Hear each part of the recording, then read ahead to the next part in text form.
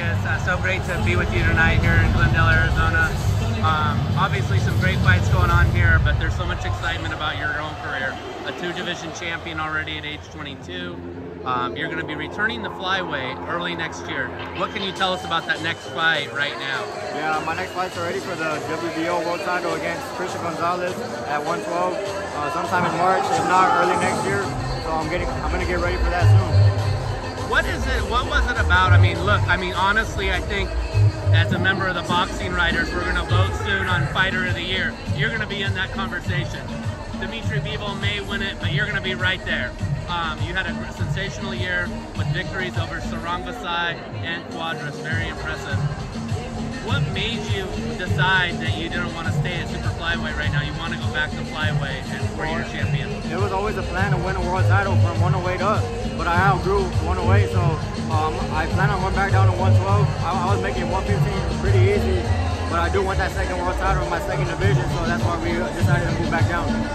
It, so you you definitely will fight at 115 again. It's just a matter of making sure that you remain champion at, at yeah, 112. Yeah, uh, I'm definitely moving back up. Um, you know, after a title or two at 112 and 150, I'm gonna do the same up there.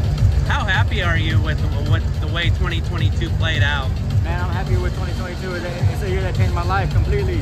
Um, everything changed for the better, and I, I couldn't be more happy with with uh, with the way my life's been playing out this year.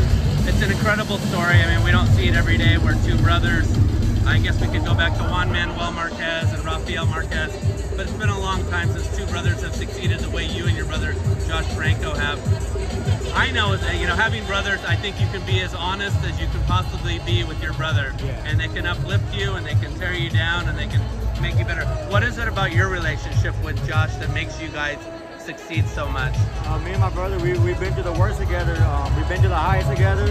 And that, I, I think stuff like that makes what, make, what makes the relationship that much stronger. My brother, he's, he's uh, my bestest friend ever. I, and I look up to him more than anybody. And just to have him training with me in Riverside or back home, it, just, it means everything to me. So as far as I understand it, the, the opponent will be Christian Gonzalez for you next. Yes. And uh, what with the contracts and everything like that, where's that stand? And do you have any idea of a date and a location? Um, sometime in March, I believe, maybe in Texas, but I haven't heard anything official, so I can't really say it on that right now. No problem. It'll uh, certainly be on the zone, I would Yeah. imagine, though. All right, great, Bam. We can't wait to see you. I Thank you so much for the 2022 you provided.